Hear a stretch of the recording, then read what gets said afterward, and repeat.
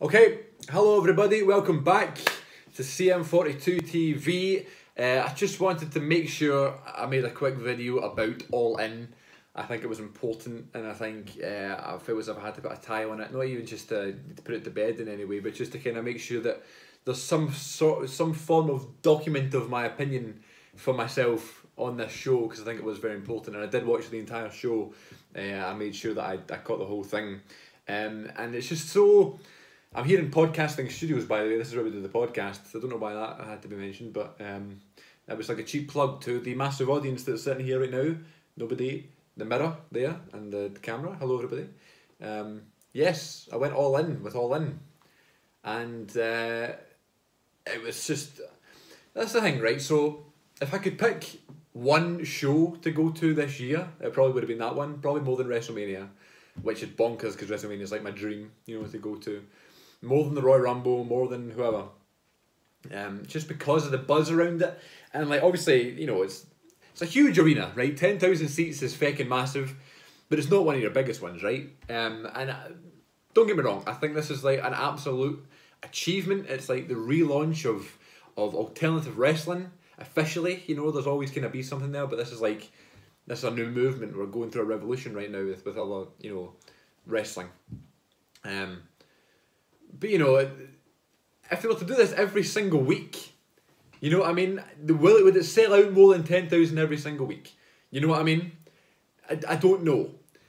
The fact this is this big thing that was just built up for months and months and months, and it was almost like a bet that you know against everybody who said it couldn't happen. It's going to happen. We're going to make sure it's going to happen. And we have all these stars and all these matches, and it's a once in a lifetime thing. It's never happened before. It's the first American company to sell out over 10,000 seats that's not WWE um, in advance.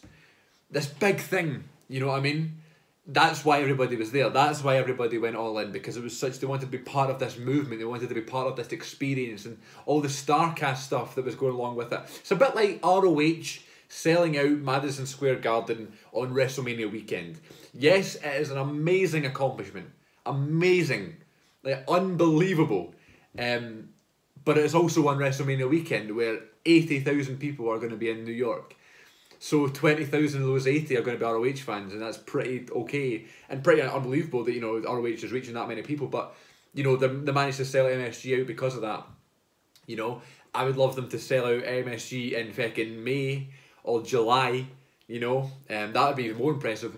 And that's kind of why I liked All In more because it was a random point in the year. There's no WWE help you know what I mean? That being said, though, see everybody that's going on about how, you know, Vince is shaking in his boots and Vince is going to be hating this and oh, Vince's dad is going to be rolling over in his grave. I just read that tweet and I couldn't believe it. Like, Vince McMahon absolutely loves this, you know, all in stuff. Because, believe it or not, Vince McMahon is not out to kill the wrestling business. He's out to make it thrive more. He just wants to be in control of his empire, which is WWE, and he wants WWE to kind of call the shots. And that's fine. They have the right to do that, and they do do that. But the fact that another company, it's not even a company, the fact that people he knows, right? Cody Rhodes could be like could be like a son to him at this point. Um, has done this on his own with his mates They've funded this thing. It's got the wrestling world buzzing. They've made a ton of money. They've made all this exposure for other places for people to go and work and for more talent to be developed to one day, believe it or not, end up in WWE anyway. It's a bit like ECW back in the day. Vince McMahon was the biggest supporter of ECW in the world. But at the time, we ECW. I'm saying me as if I was here, but uh, ECW fans were like, uh, "No, screw Vince McMahon, screw the WWE. We're ECW. We don't want to listen to yous. You look at all the success ECW's having. Vince must hate this. Vince loved it. Vince loved the fact the only people he didn't like was WCW because they were going out their way to put him out of business. Cody Rhodes and Matt and Nick Jackson and Kenny Omega and Cary Silkin and whoever I'm not going to try to put Vince McMahon out of business, right? It's not going to happen, so there's no reason for Vince McMahon to not enjoy this. Vince McMahon's un- unbelievable passion for wrestling and sports entertainment isn't just because he gets to do three hours of Raw every week.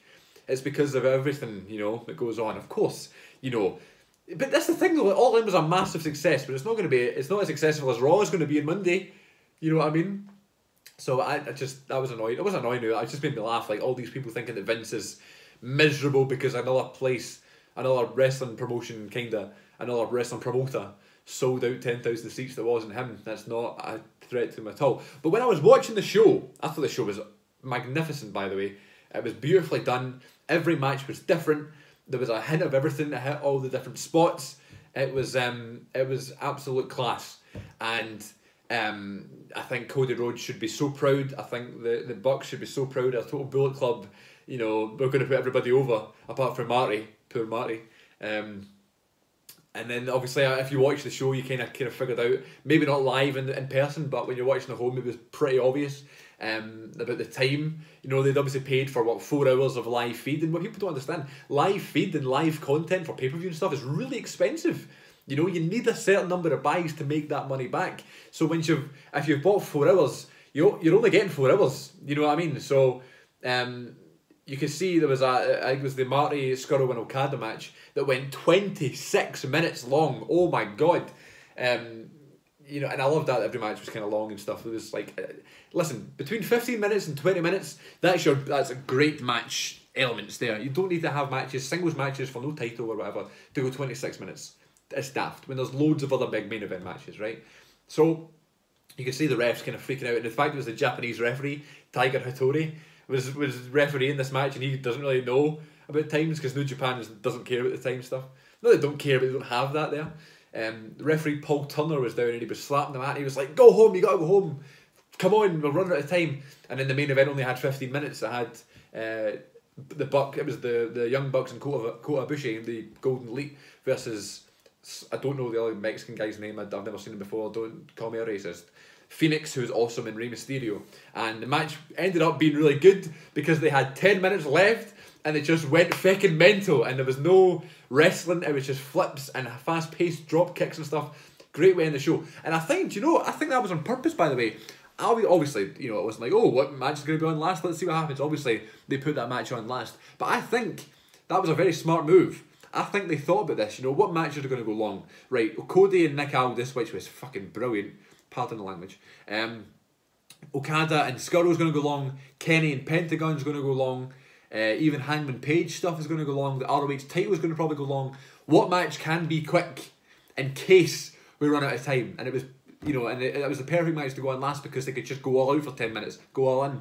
Um, and then after the show, there's a video on YouTube of like them doing like the speech after the show saying thanks for coming and everything. Nick Jackson said they finished it with three seconds to spare. Three seconds gives me the fear. Um, but literally, as well, the finish, Fenix uh, came in, interrupted the finish of the match, and then they just did the Meltzer driver, and that was it. And then like one, two, three, thanks for watching all in, and that was it, which is very funny. But and then Rey Mysterio was late for his entrance again.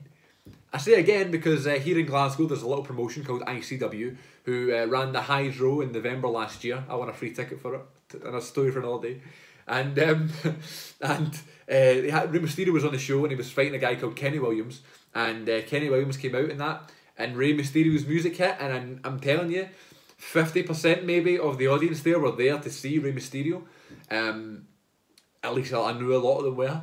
And uh, Rey Mysterio was late for his entrance again. What is up with him? He was on time for the Royal Rumble. Don't know why. That's weird. Why is he late for things that aren't WWE? But anyway, um, yeah. Other thing to mention is uh, the Nick Aldis and Cody Rhodes match for the NWA title. Now the NWA title, it's like we never see it. You know what I mean? It's not on TV. Maybe it is in some random place. It's a random YouTube show. They'll have matches here and there. It's not you know this big prestigious title. But I'm telling you, by the way, that match with Cody and Nick Aldis Magnus, they made that title feel fucking important. The big fight feel that the teams walking into the ring, Earl Hebner being the ref. Um, probably my match of the night, I think, just based on that and Cody won the title, and I just love the emotion Cody has in his face won, winning the same title 39 years after his dad won the title. Mental. And then uh, other match of the night goes to, to Kenny and Penta. I think Pentagon's great. I'm a big Impact guy, so um, I love him. And then Kenny Omega obviously is, is one of the best in the world. And then Jericho, I guess that was another big thing. That was a big spoiler. Um, the fact he, he did, uh, I don't know if anyone knows it, obviously they do know it, but if, if you don't know, uh, they finished all in and then Jericho went to do a Fozzy gig right after the show when he did the Fozzy gig with the Pentagon face paint on. So cool. But people were tweeting, people who were at the Fozzy gig, can't believe you're there, you're being punked, you know, you you wasted your money, Jericho's not even there. He's in Chicago for a wrestling show. And Jericho took a private jet and flew to wherever he was going, I think it was Kansas City maybe, to do the Fozzy gig. That's a, that's a rock star there, man. That's like the GOAT, Chris Jericho. And I couldn't believe as well, they had Omega and Pentagon so far late on in the, in the card, you know what I mean? If he was going to catch a Fozzy gig, then maybe they should have put it on a bit earlier on, you know? But I suppose it was a big match. But yeah, Jericho's just been the best ever. You know, obviously I'm a WWE guy at heart, so I kind of you know hope he ends up doing more stuff in WWE. But I'm happy, you know, for him to do whatever he wants. And now this big sort of wrestling boom is unbelievable. And when I was watching the show, uh, I was thinking to myself, you know, imagine this was a show every week, you know, or like even every month, like TNA used to be, you know, the monthly pay per views, you know, because um, it looked so good you know, the roster, if that if that was like the roster of one company, it's unbelievable, you know. Um, so there you go. That that could be the biggest threat, I guess, to WWE. But it's not going to be a threat. They just signed a fucking deal with Fox for four billion dollars. Nothing's going to be a threat to WWE. However, it's the closest thing to coming to in a long time. You know, uh, so that's amazing. What an experience! What a time to be a wrestling fan. I wish I was there, but obviously it's I couldn't have done that. But uh, yeah, brilliant. I hope everybody enjoyed all in. I certainly did, and I'm hoping that we uh, see something else soon in that sort of group. It's an amazing roster of people, um, so talented, and uh, it's just hard work paying off in it. Just hard work. You see people doing the work, and you see it paying off, and it's so satisfying, so satisfying to see. So uh, congratulations to all involved, and until next time, thank you very much for watching. Uh, what is next on CM42? Fortnite, by the way, coming up soon. Then a new classic good bit a new, a brand new episode of The Good Bit on iTunes is this Friday, I hope. And then will be my Blu-ray haul. So that's coming up here on CM42 TV. Thank you so much for watching. Until next time, take care of yourselves. It's been a pleasure. It's been a real pleasure.